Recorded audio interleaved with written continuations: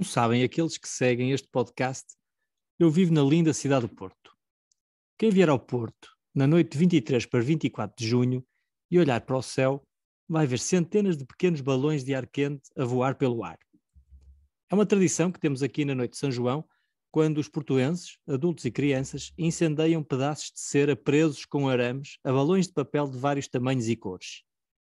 Enchem os balões com o ar quente que sai da cera a arder e depois largam esses balões que disparam pelo ar a voar pelos céus da cidade. É um cenário lindíssimo. É como olhar para uma tela escura, o céu, à noite, cheia de centenas de pequenos pontos luminosos a subir em direção ao espaço. Lembrei-me desta imagem, pois queria falar-vos do contraste entre David Hume e os dois outros filósofos, Descartes e Spinoza, que nos ocuparam nos sete podcasts anteriores. Descartes e Spinoza são dois dos grandes racionalistas que normalmente, quando estudamos filosofia na faculdade, vêm num pack de três: Descartes, Spinoza e Leibniz. Estes racionalistas são os três do continente europeu e costumam ser apresentados aos estudantes antes dos empiristas britânicos, que também vêm num pack de três: Locke, Berkeley e David Hume. Racionalistas contra empiristas, britânicos contra europeus continentais. Este é uma espécie de grande combate intelectual anunciado nos currículos de filosofia em todo lado. Nos episódios anteriores, falamos de dois dos grandes representantes dos racionalistas e agora vamos ao maior dos empiristas, David Hume. Hume não foi o primeiro dos empiristas britânicos. John Locke era mais velho e o seu ensaio sobre o entendimento humano inspirou e deu as diretrizes para os outros dois. Berkeley foi o que tirou as conclusões mais loucas e estranhas. Um dia temos de o visitar. Mas Hume, David Hume, na minha opinião, é o melhor deles todos. David Hume é o maior. Que grande herói! Um verdadeiro e genuíno gênio e um incrível filósofo. Talvez dos poucos grandes nomes da história da filosofia e provavelmente o único, se contarmos apenas este período da filosofia moderna, séculos XVI, XVII e XVIII, talvez o único, dizia eu, que não tinha uma agenda qualquer que queria defender. Como vimos nos podcasts anteriores, tanto Descartes como Spinoza estavam comprometidos com Deus. Os seus sistemas partem de Deus, dependem de Deus e reforçam, cada um à sua maneira, a crença em Deus. Mas David Hume não. David Hume sentou-se a pensar, a olhar para o mundo e para o funcionamento da sua própria mente e foi por aí fora, seguindo os seus raciocínios sem se importar onde os seus pensamentos o conduzissem. David Hume fez filosofia como deve ser feita. Foi atrás das consequências das suas ideias, mesmo que isso implicasse destruir todo o edifício do conhecimento pelas bases. E foi quase isso que fez. Logo ele que se queria colocar na mesma tradição intelectual da ciência natural inaugurada por Newton. David Hume largou uma bomba nas fundações deste edifício científico, uma bomba que só foi desarmadilhada alguns anos mais tarde por Immanuel Kant. Kant e Hume constituem uma das relações mais importantes da história das ideias. Hume despertou Kant do seu sonho dogmático, ou seja, das especulações metafísicas abstratas da sua juventude, e Kant impediu Hume de fazer ainda mais estragos no edifício do conhecimento. Mas não fiquem com uma má impressão de Hume ele não é daqueles filósofos destrutivos, filósofos do martelo e da picareta, como Nietzsche, por exemplo, nada disso. As ideias de Hume são construtivas e ainda hoje são extremamente relevantes. Ora, vejam só. Há uns anos atrás foi feita uma sondagem entre filósofos académicos vivos. Vivos, porque os mortos não responderam, certo? Bem, ok. Foi perguntado a esses académicos quem era o filósofo que mais tinha influenciado o seu trabalho. O mais votado foi o nosso homem, David Hume. Reparem na importância desta escolha. Quem votou, quem escolheu, não foi o público em geral. A escolha não foi para o filósofo com mais livros vendidos ou com as ideias mais populares entre o público comum. Numa escolha semelhante entre ouvintes da rádio BBC, a escolha foi para Marx seguramente o filósofo cujas ideias mais mudanças concretas trouxeram ao mundo. Mas a escolha por David Hume foi diferente. Foram filósofos profissionais, académicos, que trabalham em universidades e nos centros de investigação mais avançados, pessoas que fazem aquilo que podemos chamar de filosofia de ponta, que escolheram David Hume como a principal influência para o trabalho que fazem ainda hoje. Reparem que não se tratava aqui de curiosidade histórica ou de apreço estético pelas suas ideias, nada disso. As ideias de David Hume, ainda hoje, mais de 250 anos depois de ter escrito as suas principais obras, continuam a estar presentes no trabalho realizado por estes homens e mulheres ligados à filosofia profissional. Imaginem só isto. É como um pedreiro, um carpinteiro ou um engenheiro, alguém que tenha inventado uma nova forma de trabalhar, uma técnica, uma ferramenta qualquer que revolucionou a forma de se fazer as coisas e que ainda hoje é utilizada. Ok, mas calma. Vamos dar aqui uma coerência qualquer e uma estrutura a este episódio. Vamos regressar à imagem da noite de São João com que comecei. David Hume não é como aqueles balões que ficam muito bonitos no céu enquanto dura a sua luz, mas passado algum tempo ardem e desaparecem sem deixar qualquer rasto. Hume disse-nos que o mesmo se passava com a maioria das construções filosóficas mais abstratas. Também elas surgem na paisagem intelectual, iluminam os espíritos durante uns tempos, podem até encontrar alguns seguidores e críticos que lhes dão alguma importância por uns tempos, os fazem subir bem alto na consideração das pessoas, mas a sua luz não brilha durante muito tempo. Enquanto sistemas abstratos, demasiado distantes das pessoas e do senso comum, sem qualquer utilidade, não duram muito tempo e as suas consequências são pouco relevantes para todos nós. É certo que dão prazer e sentido à vida de alguns intelectuais que os leiam à lareira de sua casa ou nas suas bibliotecas, mas pouco mais do que isso. Ao contrário das religiões que podem ter um efeito nefasto e até perigoso sobre as pessoas, a má filosofia pelo menos tinha a vantagem de ser inócua, de não fazer mal a ninguém quando um profeta, um rabi ou um padre dizem algo errado à sua comunidade de seguidores, as consequências, como bem sabemos, podem ser terríveis. Mas quando um filósofo comete um erro e escreve ou diz um disparate, nada de mal vem ao mundo. A comunidade de filósofos corrige esse erro ou abandona essa ideia e segue em frente.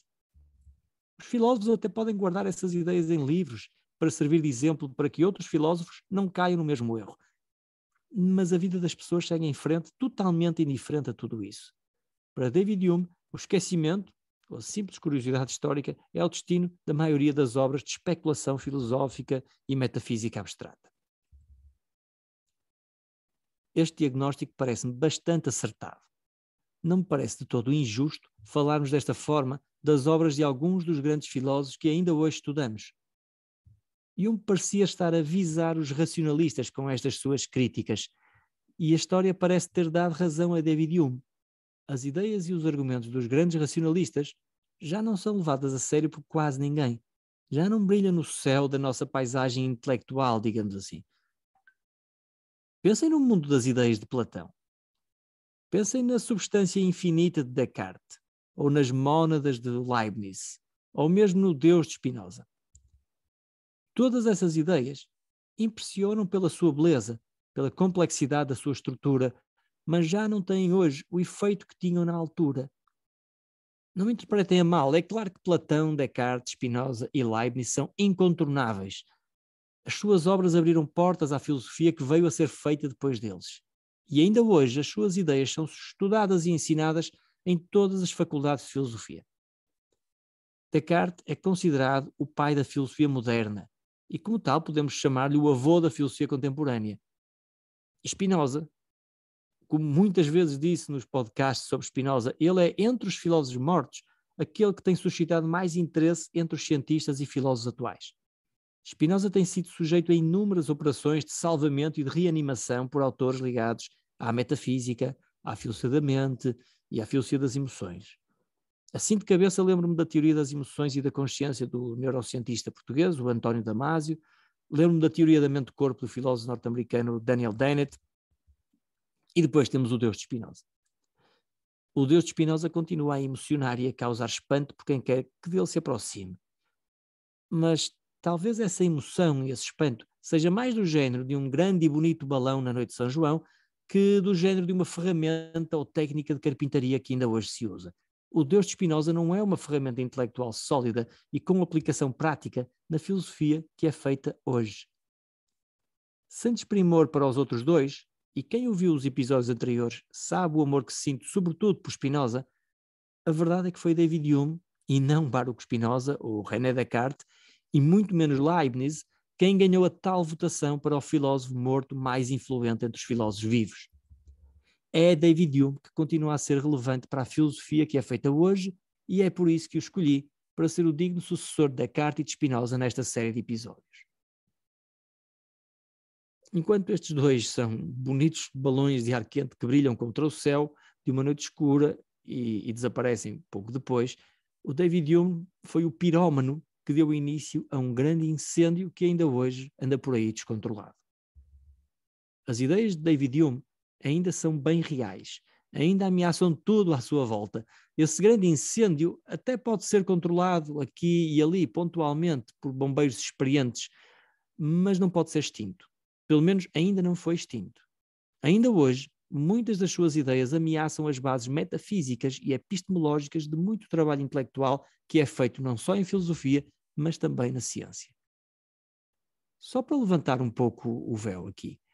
Iremos falar disto mais à frente noutro episódio sobre David Hume, mas uma ideia central na filosofia de David Hume é a ideia de causalidade, ou seja, a ideia de que as coisas acontecem por terem sido causadas por outras. Todo o efeito tem uma causa.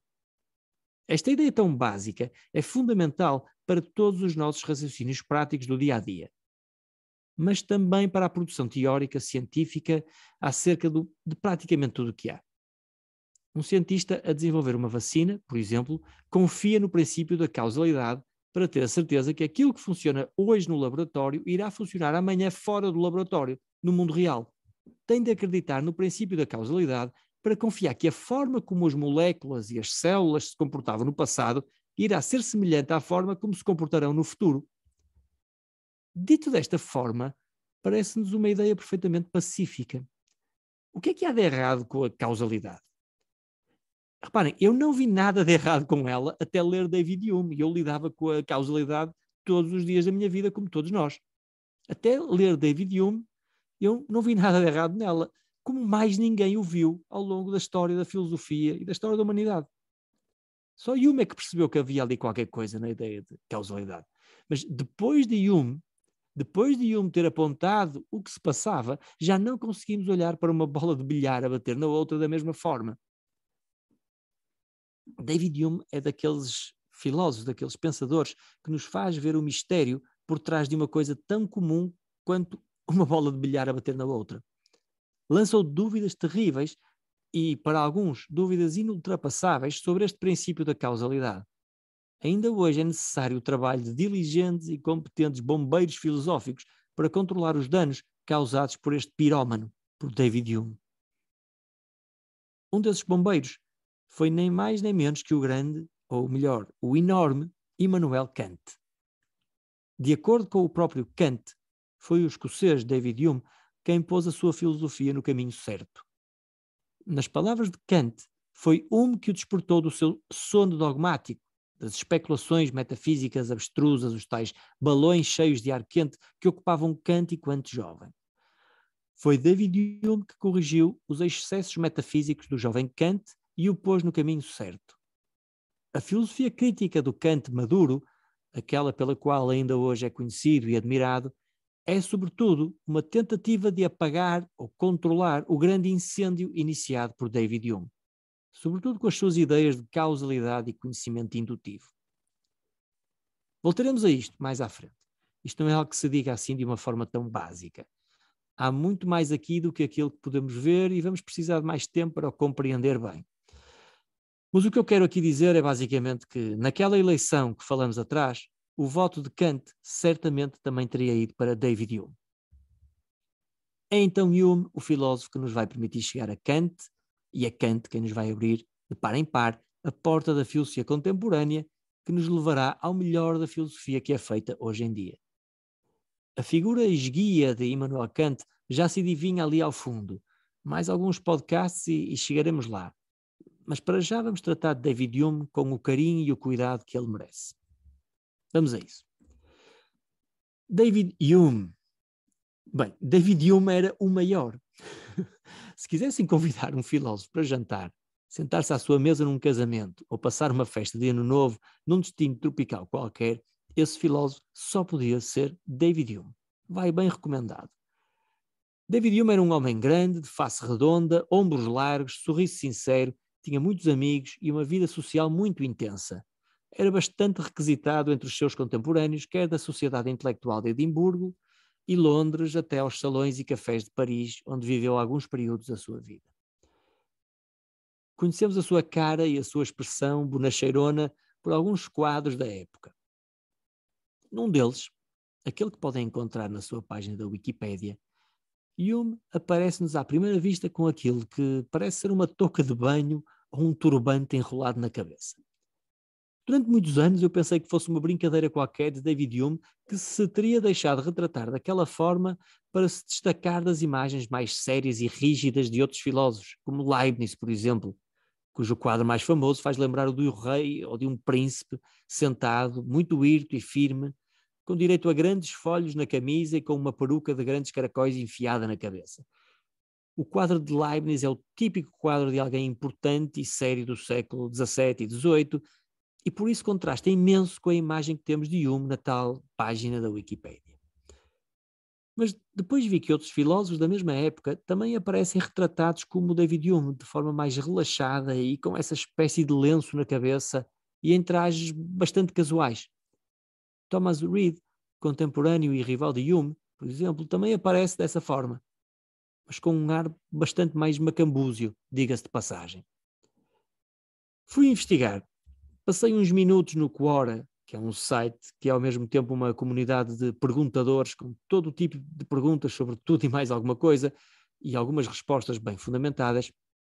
E aí encontrei mais pessoas que já tinham achado estranho aquele quadro do David Hume e também perguntavam o que era aquilo que o Hume tinha enfiado na cabeça. Bem, descobri que aquilo não era um turbante, nem um lenço, mas um chapéu de veludo, uma espécie de chapéu de veludo, uma peça de vestuário bastante usual na altura e que os homens mais abastados da época usavam em casa. Hume escolheu ser retratado dessa forma leve e casual, pois devia ser assim que trabalhava no seu escritório ou na sua biblioteca, com roupa larga e confortável, sem peruca e com aquela espécie de gorro na cabeça para aguentar o tempo rígido da Escócia. Imagino que as casas deviam ser bastante frias naquela altura, não é? Não tinham um ar-condicionado, nem aquecimento central, e aquele chapéu de veludo devia ser bem mais quentinho e confortável que as perucas que os homens então usavam nas ocasiões mais formais, fora de casa. Eu julgo que este pequeno pormenor de como Hume se vestia nos mostra algo acerca dele e também revela um pouco o papel que ele entendia ser o do filósofo, que não era uma espécie de príncipe ou rei entre os homens e mulheres, mas mais alguém como um operário, um trabalhador do mundo das ideias, que deveria servir os outros cidadãos e a sociedade como qualquer outro trabalhador. Ou seja, a filosofia, para Hume, não devia ser uma tarefa abstrusa e afastada das pessoas, como era muita da filosofia metafísica de, de então mas mais próxima da ciência que se começava a fazer na altura, mais ligada à experiência, ao senso comum e mais próxima e ligada às pessoas e aos seus problemas reais. Mas vamos situar David Hume no tempo para perceber isto um pouquinho melhor. Hume viveu no século XVIII, nasceu em 1711, não muito tempo depois de Galileu ter provado com os seus telescópios que é a Terra que gira em torno do Sol e, ainda menos tempo depois do Newton ter publicado a sua obra, Os Princípios Matemáticos da Filosofia Natural. Por esta altura, a nova filosofia natural, a que hoje chamamos simplesmente ciência, estava a destronar toda uma concepção do mundo que já vinha desde Aristóteles e Ptolomeu. Eram tempos excitantes de intensa revolução científica e intelectual. Era o tempo das ciências experimentais tirarem o lugar de outras formas especulativas de compreender o mundo, e o nosso David Hume quis trazer essa revolução para as ciências humanas, para a filosofia moral, como lhe chamava. Quis estudar e compreender os homens, as nossas capacidades mentais, da mesma forma que Newton estudava e compreendia a natureza. É por isso que Hume pode ser considerado o precursor da atual ciência cognitiva e de toda a filosofia naturalizante, ou seja, de toda aquela forma de filosofar que dá importância ao real, às informações que nos chegam de ciências como a biologia e a sociologia, uma filosofia que usa realmente os dados que a ciência descobre e nos revela. Uma filosofia que olha para o mundo e não se limita a fazer especulações de ideias a partir do conforto da sua poltrona. Hume mostra-nos esse seu plano para uma nova forma de filosofar logo no início do seu livro Investigação sobre o Entendimento Humano. Era um título alinhado com o que se fazia na, na época. Lembram-se do Locke, que falamos atrás? Locke escreveu um ensaio sobre o entendimento humano. Hume já tinha escrito um tratado sobre o entendimento humano, ou sobre a natureza humana, desculpem, e agora escreve uma investigação sobre o entendimento humano títulos muito modernos e muito em voga na altura. Bom, logo no primeiro dos 12 capítulos dessa obra, Hume chama-lhe secções, mas na verdade são capítulos. Logo aí é feita uma distinção entre dois tipos de filosofia. Uma filosofia mais prática, mais preocupada com os costumes e com a ação humana, interessada na virtude e no que é agir bem, esta filosofia seria aquilo a que hoje chamamos de ética prática. Para Hume, este tipo de filosofia é útil e relevante para as pessoas, e isto são coisas boas. São vantagens deste tipo de filosofia. Mas, por outro lado, quando é mal feita, esta filosofia é também mais superficial, menos rigorosa, mais próxima daquilo que hoje se entende por uh, autoajuda, parecida com todo aquele lixo intelectual que enche prateleiras de livrarias e supermercados e que só muito, mas muito vagamente se pode entender como filosofia títulos como 12 coisas que tem de saber para viver bem ou O segredo do universo, coisas assim. Mas para Hume há também outro tipo de filosofia, uma filosofia mais abstrata, mais profunda, mais séria, que tem valor em si mesma. Uma filosofia que dá prazer fazer e pensar nos seus problemas e que é aquilo a que chamamos hoje de metafísica. Aliás, Hume já lhe chamava de metafísica. No entanto, quando mal praticada, esta filosofia metafísica torna-se obscura, palavrosa, sem qualquer contacto com a realidade e com as pessoas. Só podemos imaginar quem é que Hume teria em mente quando se referia a este tipo de filosofia, mas uh, Leibniz e Christian Wolff, os grandes metafísicos alemães da altura, vêm-nos imediatamente à cabeça. David Hume quer aproveitar as vantagens destas duas filosofias quando bem praticadas e propor uma nova forma de se fazer filosofia, uma forma ao mesmo tempo rigorosa e profunda, com interesse e relevância. Uma filosofia próxima das pessoas e da experiência, com utilidade para a vida prática. Mas vejam só como o Hume diz isto de uma forma bem mais elegante. Felizes de nós se conseguirmos unir as fronteiras dos diferentes tipos de filosofia ao reconciliarmos a pesquisa profunda com a clareza e a verdade com a novidade. Aqui está, em duas linhas bem escritas, tudo aquilo que gastei três ou quatro parágrafos a querer explicar. Devia ser o Yuma a escrever estes podcasts e não eu. Essa é que é essa. É esta filosofia que Yuma irá fazer no resto da sua produção intelectual e que iremos acompanhar nesta investigação sobre o entendimento humano. Um projeto que procurará que seja o mais científico e o menos especulativo possível. Em concreto, Nesta sua obra, David Hume vai querer saber de onde vêm as nossas ideias, qual a sua origem. Depois, quererá saber como é que as nossas ideias se relacionam entre si. E por fim, o que é que de facto podemos conhecer com elas, com as nossas ideias. Depois vai retirar as consequências disso tudo, e são essas consequências que ainda hoje se fazem sentir na paisagem filosófica atual. As conclusões bombásticas a que chegou David Hume formam o tal incêndio que falamos em cima e que alguns bombeiros ainda hoje tentam controlar. Mas não nos vamos aproximar já desse incêndio. Por hoje já chega. Eu espero ter conseguido entusiasmar-vos para esta grande personagem que é David Hume. Ele irá ocupar-me nas próximas semanas de leituras e nos próximos podcasts que tenciono fazer sozinho e também com o Tiago Souza, que está a ler e a preparar esta série sobre David Hume. Se quiser, aproveite para comprar este livro, A Investigação sobre o Entendimento Humano, e acompanhe-nos nesta viagem.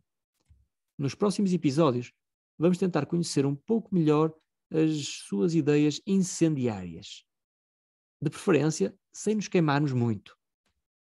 Até lá!